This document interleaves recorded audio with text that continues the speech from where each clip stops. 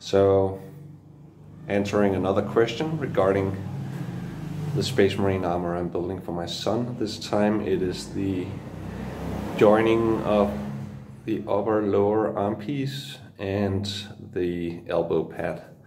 So um, I didn't want to go with ducting like so many other people. And I mean, ducting is fine. I just wanted to go for, uh, I don't know, something more solid maybe.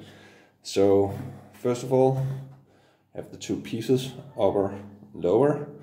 And what I basically did was starting with the elbow cap, I made these little PVC plates that reasonably have, have a reasonable shape to, to fit in here and drilled two holes. Boop. And then I took these five millimeter bolts and pressed them into the EVA foam of the of the elbow cap. And then I used a bunch of uh, epoxy to glue the PVC plate down to hold them. And it is pretty sturdy.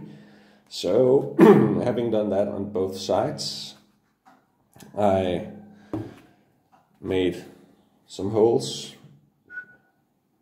through here adding metal wash washers on both sides to ease the um, to ease movement, also to take off some of the stress so it wouldn't tear the EVA foam, and I did that on both parts.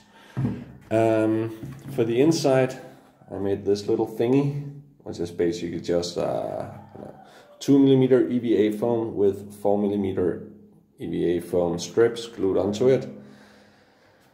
And painted and made holes that um, fits with the bolts on the elbow cap.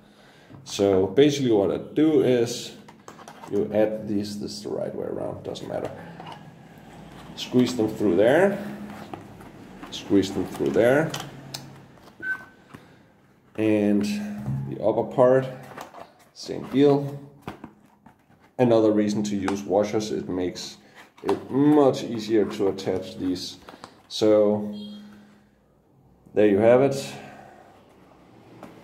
It's a little wobbly, but that will be changed as soon as I add this one. So going on the inside, squeeze it in.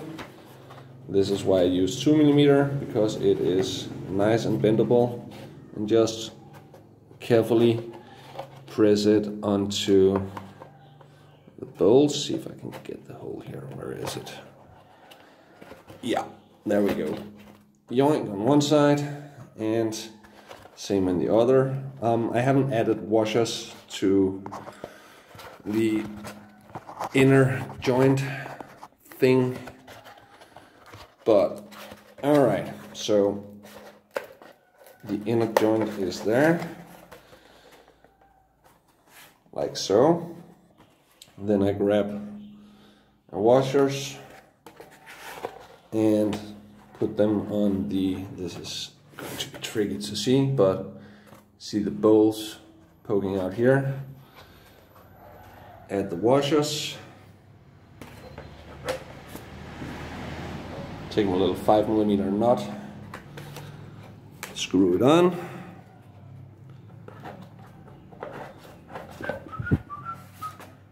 There we go. And the other one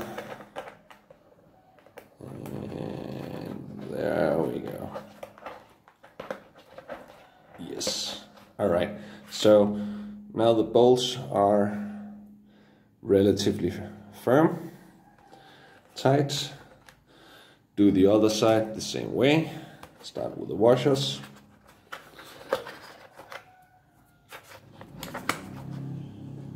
And nuts.